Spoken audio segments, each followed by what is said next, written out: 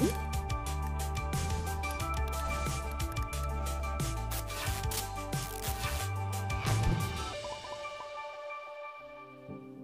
Przed nami pochmurna i mroźna noc z przewagą słabych opadów śniegu w północnych i zachodnich regionach Polski. Umiarkowane zachmurzenie prognozujemy na Kujawach, na Dolnym Śląsku, w Łodzi i Rzeszowie. Temperatury spadną do minus 9 stopni na Podlasiu, do minus 7 stopni na Warmii i Mazurach oraz na Lubelszczyźnie, do minus 4 na Dolnym Śląsku i minus 1 stopnia na Pomorzu Zachodnim. Wiatr przeważnie umiarkowany, porywisty na północy.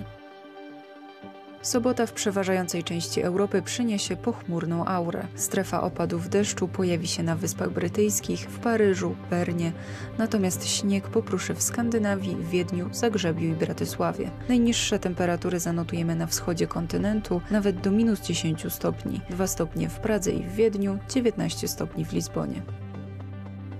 W sobotę w całym kraju przeważać będzie pochmurna aura. W ciągu dnia przejaśni się na Mazowszu oraz w południowo-wschodnich regionach Polski. W północnej i zachodniej części kraju pojawią się słabe i umiarkowane opady śniegu i deszczu ze śniegiem. Temperatura maksymalna wyniesie od minus 2 stopni na północnym wschodzie, 0 stopni na południu do 2 stopni na zachodzie. Na Podlasiu i Warmii i Mazurach temperatura odczuwalna spadnie do minus 7 stopni. Wiatr umiarkowany.